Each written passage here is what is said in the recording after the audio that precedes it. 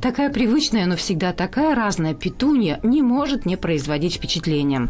По разным данным насчитывается от 15 до 40 ее видов. Гости из тропиков на самом деле многолетнее растение, но в наших условиях выращивается как однолетняя культура. Попробовать ей продлить жизнь все-таки можно. К примеру, собрать семена. Есть вот такие вот коробочки, и там внутри семян очень-очень много в каждой коробочке. То есть, по большому счету, даже одной, э, ну, если она не высыпалась, полной коробочки хватит уже на будущий год точно. Правда, не стоит надеяться, что из проросшего семечка получится цветок, как две капли воды, похожие на родительские. Гибридные формы не повторяют декоративных характеристик, что может оказаться даже интересным.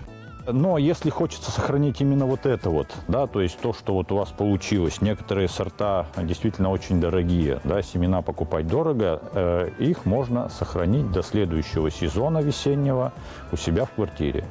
То есть петуния, в принципе, это растение многолетнее в природе, оно у нас, ну, просто погибает от низких температур, замерзает. Если же ей предоставить условия для роста, она будет расти дома как комнатное растение. Сейчас петуне нужно сделать стрижку, удалить лишнюю вегетативную массу. Это стимулирует образование новых побегов. А в конце зимы приступить к черенкованию.